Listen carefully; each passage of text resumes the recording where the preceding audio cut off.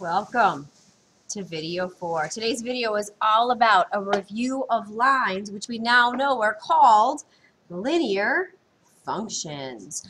All right, the three things we're going to review today are slope, writing equation in y-intercept form, and graphing lines. All right, so let's jump right into it with the slope formula. So as a reminder from middle school, we did learn the slope formula. So the symbol for slope, or the letter for slope is m, is equal to y2 minus y1 all over x2 minus x1. Some of you may have learned this as change in y all over change in x. Okay, so you can write down either one of those formulas. Now let's talk a, lot, a little bit about slope. So a lot of us remember slope as it is the rise over run of our lines. But slope can also be called the direction of a line. So the direction, is it going diagonally up, diagonally down?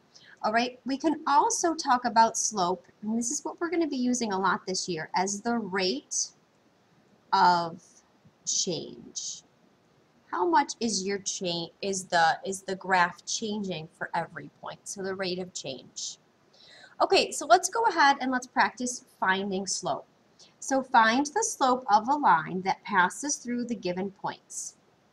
So remember whenever you have a point it's x comma y x comma y. So if I want to do change in y all over change in x here's what we're going to do so it's y2 minus y1. So my second y is going to be 13 minus my first y is negative 3. All over x2 minus x1. So we're going to go ahead and do 8 minus 6. Okay, so that means when we do that, we have 13 minus negative 3. So that's keep change change. So really that's going to become 16 all over 8 minus 6 is 2. Now with slope, we always want to reduce. So 16 over 2, we're going to get 8 over 1. So our rate of change is up 8 over 1. Okay, let's go ahead now, and I'd like uh, you to try to find the slope of part B. All right, let's take a look here. So change in y over change in x. So I plugged in my points. This time, instead of doing the second point minus the first point, I did the first point minus the second point. It doesn't matter which order you go as long as you're consistent in the numerator and the denominator. So I was able to get 3 over negative 12, which then reduces to a negative 1 over 4. So as long as there's one negative, the whole thing is negative. All right, let's take a look then at the equation of a line. So the equation of a line is y equals mx plus b. So the m represents the slope, and the b represents the y-intercept. Okay, we also have what's called the x-intercept, but we can't see that by just looking at the line. So to find the x-intercept, which is where it crosses the x-axis, you're going to set y equal to 0 and solve for x. All right, so let's try our first problem set. So here, we're going to find the slope, the y-intercept, and the x-intercept. So let's take a look at our first example here. Okay, now we see it's very similar to our equation of a line, but there's a 2 in the front. So I want to get the y all by itself. So I'm going to divide everything by 2. Okay, and when we do that, we end up with y is equal to 2x minus 3. Okay, so that means now my slope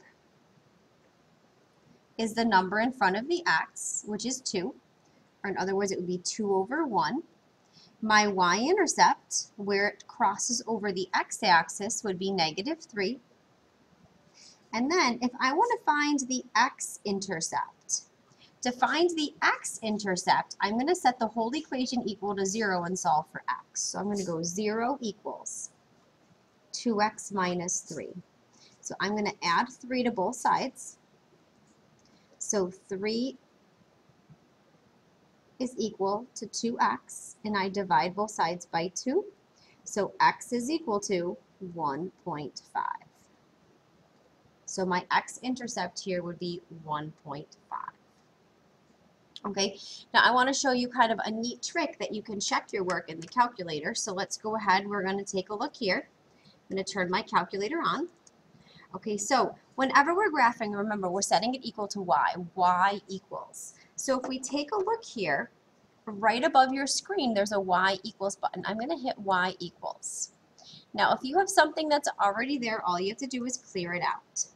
Okay, so now I'm going to type in my equation of a line. So 2 now the X button that we're going to use is not the green letter X. It's this variable button. It has, oops, it has X, T, theta, and N. That's called the variable button. So we hit the variable button and then minus 3. Now if we hit graph, oops, so I want a, a regular window here, so I'm going to fix mine up a little bit. So I'm going to hit zoom 6 so I get a regular graph there is my line. So my line is going up 2 over 1, up 2 over 1. The y-intercept is negative 3, so this is my y-axis. It's negative 3. And my x-intercept, it crosses the x-axis, it looks like right there at positive 1.5. Okay, let's try another one. So let's go ahead now and try number 2. So we want to set this equal to y, so I'm going to add my x to the other side. So my equation is y equals x plus 12. So now I want to find my slope. All right, so my slope is the number in front of the x. Now there's no number there, so if there's no number there, it's really 1.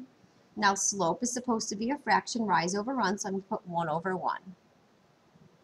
Okay, now we have our y-intercept. So your y-intercept is the number that you're adding or subtracting on, and here it's going to be 12. And to find the x-intercept, we're going to set the whole thing equal to 0. So 0 equals x plus 12. So then I'm going to subtract 12 to the other side.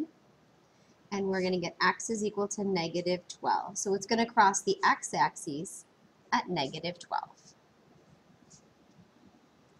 Okay, so let's go ahead then and try the last one. So I want to go ahead, set this equal to y, so I'm going to divide everything by 3.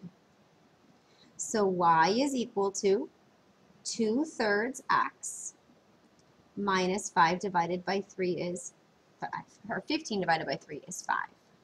So now I want to find my slope. So my slope is the number in front of the x, which is 2 thirds. My y-intercept is the number by itself over here. So the constant is negative 5. Now we have to find our x-intercept, which we're going to have to do a little bit of work for. So we're going to take the equation, set it equal to 0. So 2 thirds x minus 5. So I'm going to add 5. So I get 2 thirds x is equal to 5 and then I multiply by the reciprocal. All right, so to multiply by the reciprocal, oh, to get off of this screen, whenever you need to get onto the main screen, you hit second, and the mode button, that's the word quit. Okay, so 5 parentheses 3 divided by 2. So 7.5. So x is equal to 7.5, and we've got it. Okay, so now let's take a look at problem set number two. So now, using the given slope and y-intercept, write an equation. So here we have the slope and the y-intercept. So we remember the equation of a line is y equals mx plus b. So all I'm going to do is substitute in the slope and the y-intercept. So this would become y is equal to negative 3x minus x. And now for the second equation, we're going to do the same thing. So y equals mx plus b. So y is equal to, I'm going to replace the m with the 1 half and replace the b with a negative 5. Okay, so now we've reviewed slope, we've reviewed writing equations in y-intercept form. So the last part for today is going to be graphing. And to graph today, you will be needing a ruler, so make sure you've got a ruler handy. Okay, so here we go. Graph each equation using the slope and y-intercept from the equation. All right, so here we go. f of x is equal to 2x plus 6.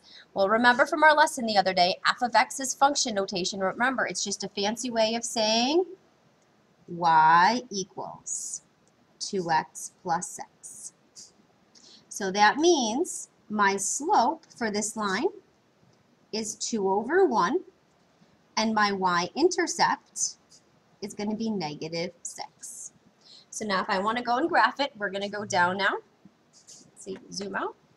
Okay, so here's my x-axis, here's my y-axis. So I'm going to count by ones. One, two, three, four,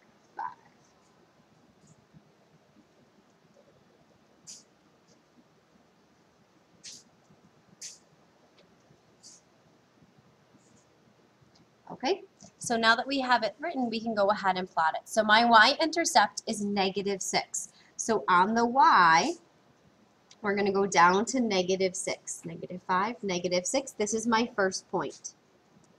Now my slope is positive 2 over 1. So I'm going to go up 2 to the right 1. Up 2 to the right 1. Up 2 to the right 1. Up 2 to the right 1. And I could continue doing this along my graph. And once I have a bunch of points, I'm going to go ahead and connect them with using a ruler. Okay, and I want to go all the way across my graph. Now, at one of the arrows, we're now going to write the equation. All right, there's one. We've got one more to go. So everybody, let's take a look now at our second equation. Now, before I can graph this, I have to get it in y-intercept notation. So I have to get the y by itself. So the first thing we're going to do is subtract 2x. So 3y is equal to, we always put the x first. Then I'm going to divide everything by 3. So y is equal to negative 2 thirds x plus 2. Okay, so that means my slope is negative 2 thirds and my y-intercept is 2. So now we can go ahead and graph this. So a y-intercept of 2 means on the y-axis, we start at positive 2. Now my slope is negative 2 over 3. So because it's negative, we go down 2, and you always go to the right. 1, 2, 3. It's this point right here. Negative 2, down 2, and we always go to the right. Down 2, always go to the right. And now we have a few points, so we can use our rulers to connect our points.